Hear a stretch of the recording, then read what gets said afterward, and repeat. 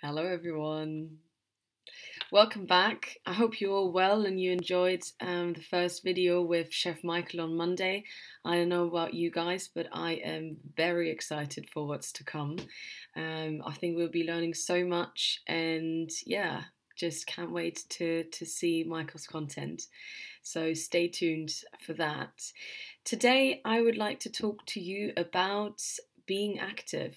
Um, on Friday last week, we talked about the mind as a foundation of well being, and today, midweek, let's talk about being active. I think, especially at the moment, as we're spending so much time indoors, it's so important that we stay active. Um, so, therefore, my objectives for today's video are to explore why is exercise good for you, um, relevant to the situation at the moment, what sort of exercise is out there. What can we be doing? When is it when is it best to exercise, and where can you exercise? So those are um, the few points that I'd like to focus on. So let's get started with the big question: why should we exercise? I think it's always very important to establish that first before you actually start doing something. Um, we've been thinking and we thought that most of you, a lot of you, um, you know, had very active jobs, and um, that could be just walking to the bus station in the morning or even walking to work and um, then getting to work and, and running around in the hotel or in the restaurant where it's super fast paced and you've got to move quick. Um, and obviously i think we sometimes underestimate that all of these things are exercise, us just in our daily lives, how we move about, that is part of us exercising. Um, it doesn't have to be a cardio workout that makes you completely sweat um, and then you have the feeling it was an exercise. So, um, our daily lives are part of us exercising and obviously at the moment we're missing out on on most of these things um, so Therefore, I think it's so important that we place we replace those with some extra physical activities at home, um, and this is the whole purpose of this video to to look at those those things. I think generally physical activity is associated with lower rates of mental health challenges, and for me, it's just an essential part of our well-being. So generally, it's super super important, but now more important um, than ever. So we've established the why now, which um, I hope you, you sort of agree with. And now let's look at what kind of exercise can we be doing. And I think it's all about finding an activity that suits you, you enjoy, suits your mobility, suits your fitness. Um, that's really, really important. And you might have heard about cardio versus strength training. Um, and I never really knew which one of those I should be focusing on. Um, cardio exercise are, for example, running or high intensity interval training. Um, those exercises burn calories and they make you physically fit. Um, they also improve your function of your lungs and your heart, uh, which is really good. So that's sort of the cardio side. And then strength training exercises are push ups or sit ups, and these are exercises that are more focused on the muscles. They're making the muscles stronger um, and boost your metabolism as well, and you also burning calories.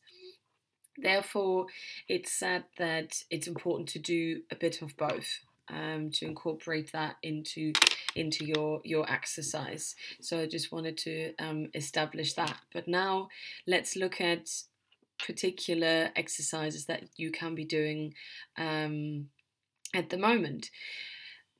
The first one, the most obvious one, is walking um, or running, if that's something you, you like doing. I think it's really important with that it's an opportunity to get some daylight, um, which is really, really important. So at the moment, we can still go out for exercise once a day, as you might know um, as long as you stay local and you practice social distancing. That's really, really important. Um, but let's talk more about exercises that you can be doing um, at home. One of them would be stretching. I think most of you have probably heard of stretching. Um, is what people sometimes do before they go on a run or do any sort of exercise. Um, but it's actually really, really powerful in my in my opinion. Even if you just do it for 10 minutes, um, it really has a really good effect. Um, then there's yoga. Um, so yoga videos um, are out there. We will be providing you with resources, um, so links to um, yoga videos that we found helpful, and we're going to put them in the description box below um, for you to go straight in, click on it if you're interested. And it's important, you know, there's different levels, there's beginner levels, medium level so you can really choose. So even if you've never even considered about doing yoga um, this is what i've done. I i never really wanted to do it didn't really know much about it. And then i did one of these beginner 20 minute um, classes online and i thought oh i'm actually feeling quite good after this. So that's how i sort of got into it um, then there's circuit training. Um, again, you can really adjust the level of intensity.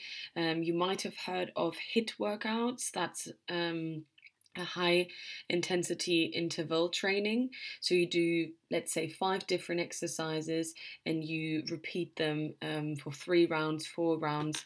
I always think one round is better better than none. Um, so I always keep that in mind. And sometimes when I've done one I stop, and sometimes if I feel I've got a bit more energy in me, I do another one, for example. Um, you might also have seen Joe Wicks. Um, he's a personal trainer. He's been on the news quite a lot um, at the moment. Um, very positive, great, motivating guy. And he is doing a daily HIIT workout on his YouTube channel that I also will provide you with, with the link uh, in the description box. And um, it's quite intense. It definitely gets you sweating, um, but um, for some, this is a really good way of of starting starting their day. Um, and then the last thing I wanted to mention is housework. Again, something I think that's underestimated. Um, that if we, you know, fizz around in the in the in the flat or in the room and um, you know hoover or you know clean the dust off the wardrobe. We are moving our body so that's that's still really good. Um, so just thought i mention that one as well. Um, let's move on to when to exercise. In my opinion is totally up to you. You can try maybe to exercise in the morning maybe in the afternoon um, and then see which one of those um, suited you best um, and you found most enjoyable. What I would say is sort of high intensity workouts like cardio. Um, I wouldn't really be doing them in the evening. I would do something more like stretching, something a bit more relaxing um, before going to to bed. Um, also encourage you to come up with a bit of a routine. So maybe challenge yourself to get up in the morning and tell yourself that every morning at 10 a.m. you're going to do a 10 minute stretch exercise. Um, or every two days, whatever works best for you. Um, but it creates a good feeling of having completed something, so tick off the box sort of thing. Um, and anything really counts that you take some time for yourself and and do that. Um, Zoe and I have actually set ourselves the challenge to do the Joe Wicks daily workout every Friday together, uh, which is exciting. Um, challenge accepted. Um, so you're welcome to join us in on Friday if you fancy. Um, we'll definitely be sweating and have a little catch up later. So um, more than welcome to join us, guys. And then the last point is the where. So again, it's totally up to you. I think the space that you've got, you just try to make as much space as you need for the particular exercise. For stretches, for example, you won't need as much space, but if you do like a hip workout, you might want to make sure you've got more space to move from one to the other side. Um, and yeah, try to be somewhere where you maybe won't get distracted, so you can focus on on on the time that you you committed yourself to. Um, I think that's it. So those are um, sort of is an introduction into to being active. So we've looked at why to do exercise, why is it good to, for you to do exercise, and just to repeat that one more time we are missing out on on the the exercise that we do every day by just walking to places so we need to um, replace that by doing a bit more physical activities um, at home. And then we looked at what sort of exercises you can be doing. Um, for some, it's yoga, for some, it's the HIIT workouts, um, and providing you with um, resources in the description box below so you can easily just click on it. Um, then we looked at one, when to exercise and where to exercise. So I hope that given you a good um, overview about how you can be active at home, and um, I'd encourage you to ask any questions that you would like. Um, the comment in the comment box below or give us some feedback. Um, also, maybe let us know what sort of topics you'd be interested in hearing from Chef Michael, um, from me, from Zoe, um, to make this as much relevant as we can for you guys because that's the whole purpose of it. But yeah, I hope you enjoyed that and uh, I was able to motivate yourself you uh, a little bit to maybe try try out a little exercise and um, definitely stay tuned for our next video on Friday. Thank you for watching again, guys. Bye bye.